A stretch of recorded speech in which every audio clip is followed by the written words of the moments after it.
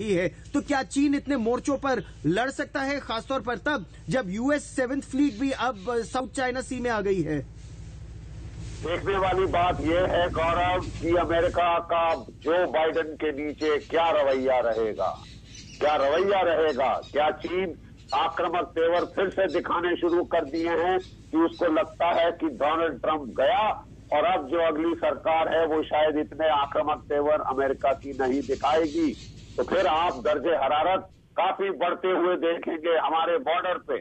हमको तैयार रहना चाहिए और हमको डिटर करना पड़ेगा चीन को। Deter we will have to deter China from such intrusion and activities आपको जैसे कि नाथुला उन्नीस में हमने किया था, चीन पे कीमत इम्पोज करनी पड़ेगी।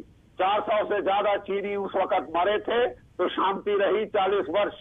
ठीक है? जब तक आप धक्का मुक्की करते रहेंगे, ये तमाशा चलता रहेगा। ये तमाशा चलता रहेगा we can't let China impose the way it wants to tackle you हर चीज़ का फैसला चीन करेगा कि ये धक्का मुक्की पे वापस आ जाओ, हम धक्का मुक्की पे वापस चले जाएँगे, ये नहीं होना चाहिए। We will have to take the initiative and कुछ ऐसा करना पड़ेगा जो चीन को डेटर करे। And that means kinetic action ये धक्का मुक्की से साहब आपकी सीमा नहीं बच सकती। और ये हमको जो है अब we will have to be prepared we will have to get aggressive और अगर चीन सोचता है कि वो भारत को केवल डरा डरा के सब कुछ करा लेगा तो ये नहीं होगा। गौरव एक सवाल अगर हम लोग इस समय नकुला की ही बात करें सिक्किम की ही बात करें जी जी मीनाक्षी। गौरव कल जो बातचीत हुई है क्या अ, ये जो तीन दिन पहले की घटना है ये कल की बातचीत में ये मुद्दा आया होगा? अभी जो लद्दाख में बातचीत हो रही है, वो लद्दाख क्षेत्र में तनाव को कम करने की हो रही है जो चुशूल और मोल्डो का डिवीज़न है।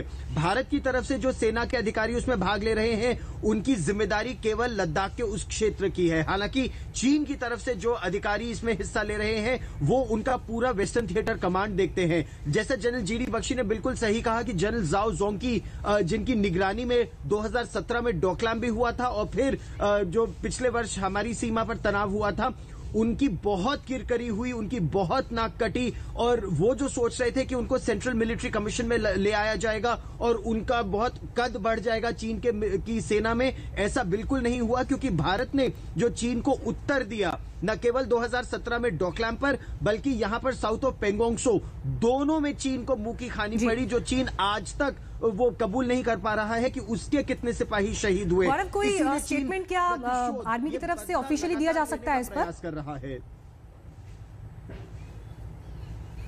उम्मीद यही की जा रही है कि थोड़ी देर में सेना इस पर अ, अ, कुछ कहेगी या सूत्रों के हवाले से या फिर औपचारिक तौर पर क्योंकि सेना की भी कोशिश यही है या सरकार की कोशिश यही है कि बातचीत से मसला हल हो। इसीलिए नौ दौर की दौर की बातचीत हो चुकी है जिसमें एक बार फिर दिसंबर में भी चीन ने इस तरह का प्रयास किया था दक्षिणी लद्दाख में जब उसके से, उसके सिपाही गाड़ियों में अंदर आने का प्रयास